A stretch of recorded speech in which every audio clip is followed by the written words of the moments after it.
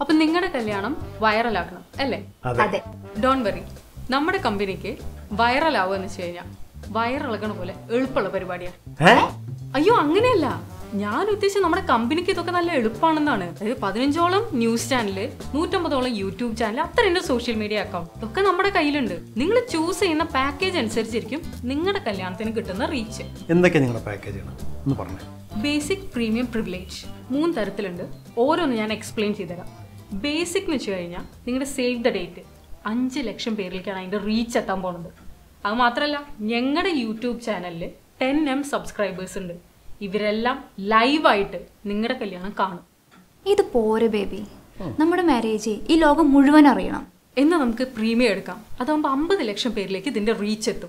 First നൈറ്റിലേക്ക് നിങ്ങൾ എത്തുന്നേക്കാളും മുന്നേ നിങ്ങളുടെ കല്യാണക്കാരൻ ലോകം മുഴുവൻ അറിഞ്ഞിട്ടുണ്ടായിരിക്കും.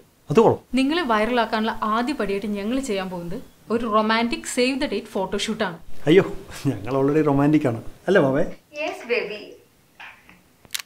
നന്നായിട്ടുണ്ട്. നന്നായിട്ടുണ്ട് കേട്ടോ പിന്നെ സേവ് ദ ഡേറ്റ് കഴിയുമ്പോഴേക്കും സദാചാര ആംഗ്ലമാര് അമ്മായിമാർ അമ്മാമാര് എല്ലാവരും കൂടെ വന്നിട്ട് നിങ്ങളെ ഒരു മിനി വൈറലാക്കിയിട്ട് മാറ്റും. ആ അത് കൊള്ളാട്ടോ അല്ലേ? ചെറുതായിട്ടൊരു പൈസ ചെലവ് വരാൻ സാധ്യതയുണ്ട്. അതെങ്ങനെ?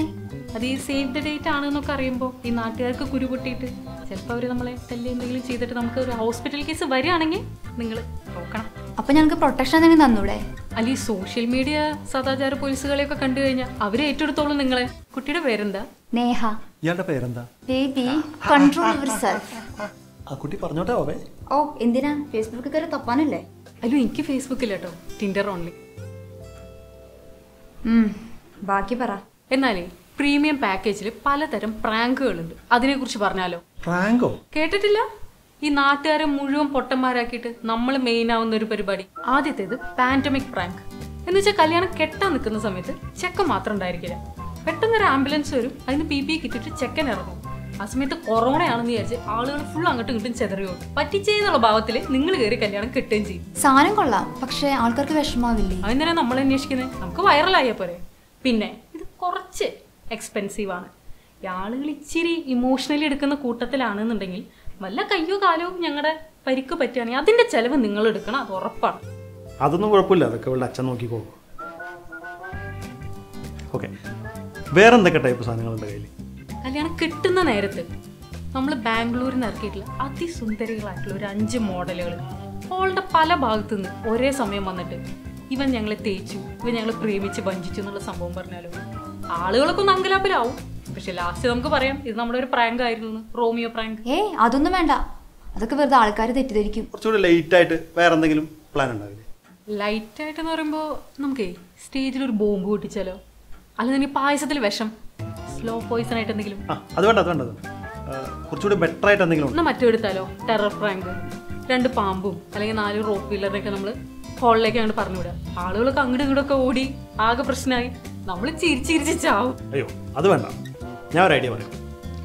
ഇവൾ മുഴുവൻ സ്വർണം ഇട്ടിട്ട് മണ്ഡപത്തിൽ ഉടനെ തന്നെ ഞാൻ ചാടി കയറിയിട്ട് പറയുന്നു ഈ സ്വർണം ഒന്നും എനിക്ക് വേണ്ടെന്നുകൊണ്ട് അച്ഛനെ അത് നിങ്ങൾ അപ്പം തന്നെ ഷൂട്ട് ചെയ്യുന്നു വൈറലാക്കുന്നു ബേബി അപ്പൊ നീ ആ സ്വർണം മൊത്തം അച്ഛന് കൊടുക്കണോ അപ്പൊ നൂറ്റമ്പത് പവനും ബെൻസുകാരും അച്ഛനോട് വേണ്ടെന്ന് പറയാലേ നിന്നെയും കൊല്ലും നിന്റെ അച്ഛനെയും കൊല്ലും. ബേബി!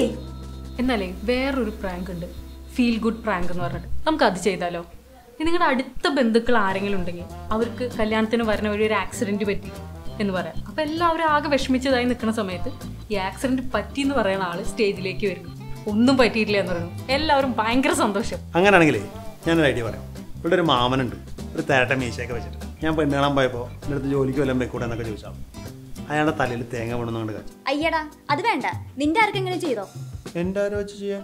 നിന്റെ നിന്റെ അച്ഛനെ ചെയ്തോ? വാവേ എന്റെ അച്ഛനെ പറഞ്ഞാൽ ഞാൻ ടെററാവേ നീ എന്റെ മാമനെ പറഞ്ഞതോ? വാവേ you are crossing your limit ഒന്ന് പോയടാ. നിനക്കെങ്കിലും എന്നെ കേട്ട ഒരു യോഗ്യതയില്ല. മതി നിർത്താം. വി ആർ ബ്രേക്കപ്പ് ബേബി അതെ ഇനിയിപ്പോ നിങ്ങളെങ്ങാനും ഡിവോഴ്സ് ആവുകയാണെങ്കിൽ നമ്മുടെ പ്രിവിലേജ് പാക്കേജ് ഉണ്ട്.